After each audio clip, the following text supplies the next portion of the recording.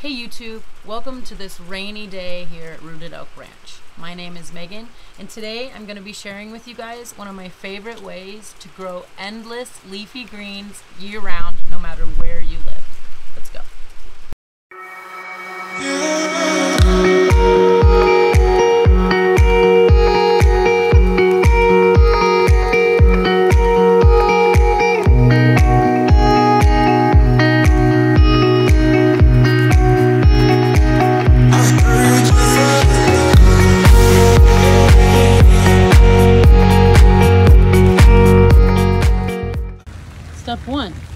Get yourself a bag of good potting soil.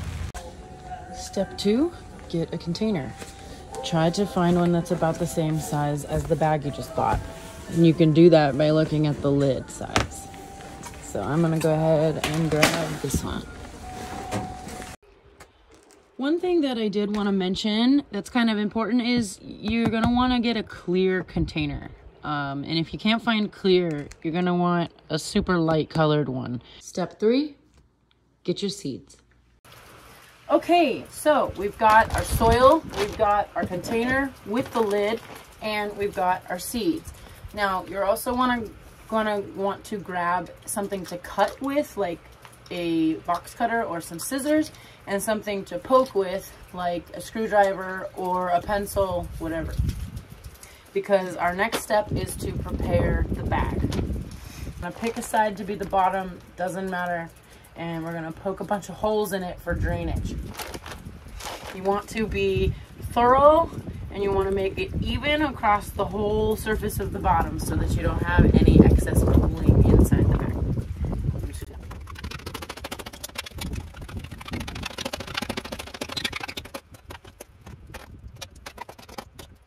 Should be good.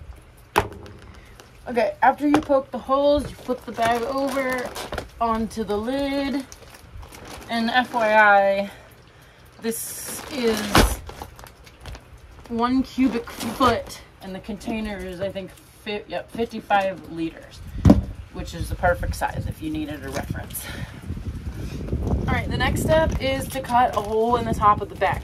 So you want to cut it close enough to the edge so that you can actually utilize all of the soil, but you don't want to cut it so close that the walls don't hold the soil. You want it to have some sort of structure.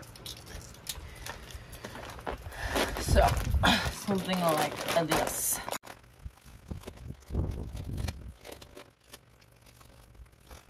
All right, so something like that. Okay, step six, or whatever step we're on, the next step is you actually want to remove some of the soil because these bags, they usually come compacted. And once you start messing with the soil and it starts relaxing, you'll probably lose some seedlings and we don't want that. So I'm going to put some in here for this amazing rhubarb that my neighbor just brought over for me actually.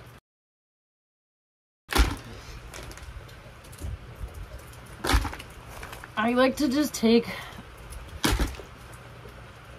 some handfuls off the top here. And, you know, this is like your best judgment.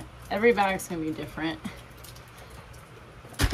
But you just want there to be, you just don't want it to be spilling out once it relaxes. So now, Next up is you're gonna wanna soak the soil. Make sure it's really wet. Um, I need to go get my watering can, so I will go do that. And I'll be right back. I just went ahead and watered it. I forgot to turn the camera on, but you want your soil to be evenly wet, and you want it to be wet, not just damp. So give it a good little soaking. Okay, next step, sow the seeds. All right, so next, pick your seeds. I'm gonna do half lettuce, half spinach. First, I'm gonna do the lettuce. I just sprinkle them all over the top surface. Spinach. I'm doing lettuce and then like a row of spinach and then lettuce on the other side. gonna do a row. Uh, maybe I'll do two. I'll do two rows of spinach. Okay.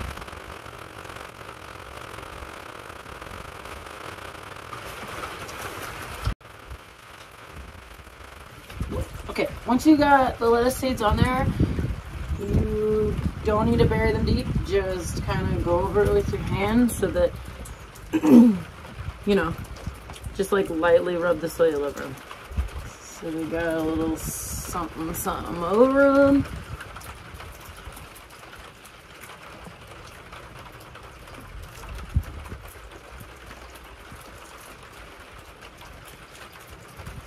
Loosely bling bling and then the next step is cover it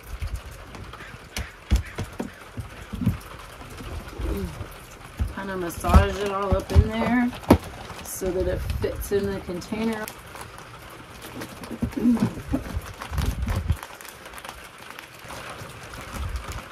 that's another reason you don't want to cut the walls too shallow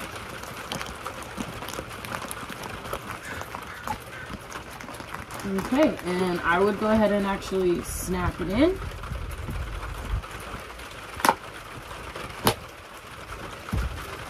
And voila. And there you have it. A fully self-contained greenhouse. Essentially all you need is some sunlight and a spot big enough for this. The last step and the most important step, which is what makes it an endless harvest, is what I'm gonna go show you next in my container of lettuce that I already have growing. So I'm gonna find a good place for this, probably on the south side of my house, and I'll see you guys over there. Lettuce likes locations that get five to six hours of sunlight a day. They also prefer locations that get shade in the afternoon because lettuce likes to bolt if it's consistently 75 or higher. Um, but there are ways to minimize that. I live in a rainforest, so cloud cover is typical for me, but I this is also the south side of my house and there are no trees over there. So in the dead of summer, I am going to need to protect these from the direct sunlight. Planning on doing is putting some taller vegetables around this. Until I get my garden space set up, I'm basically going to be working out of mini greenhouses and makeshift raised beds that I make either out of wood pallets or these um, until, like I said, I get the garden space going because I'm going to be doing in-ground sowing as well. so lots of plans. But back to the lettuce. But the reason this works all year round is because you can kind of cater to the elements. Um, so if you know it's going to be a really cold night, you can take some straw or hay or whatever organic material you got and bunch it up around the bottom of the, the base here. And what that does is it keeps the moisture in. Um, same goes if you know it's going to be super hot. Um, you can shade it and then insulate the moisture to keep the soil wet so the roots stay cooler you do know it's going to be a super hot day, you are going to want to prop this open and let it breathe.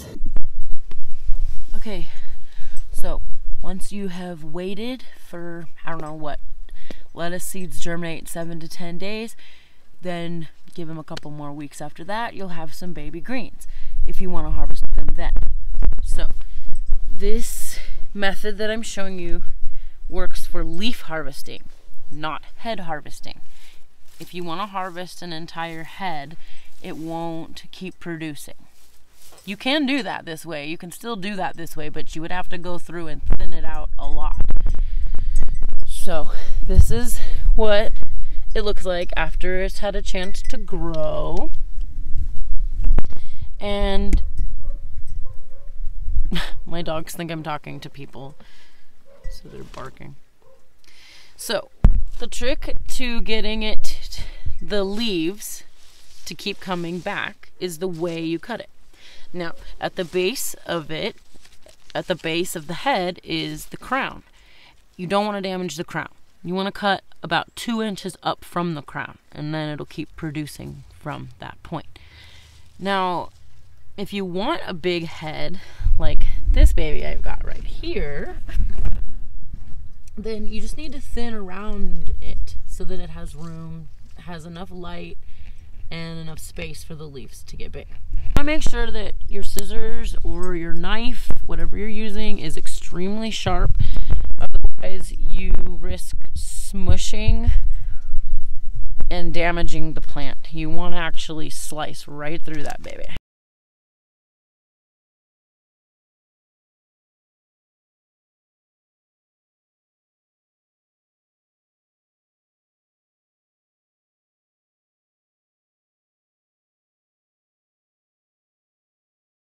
When you do it that way, you leave the crown and it'll keep producing leaves out of that point. I'm, just gonna, I'm actually just to harvest a bunch of this because I'm having a big salad for dinner.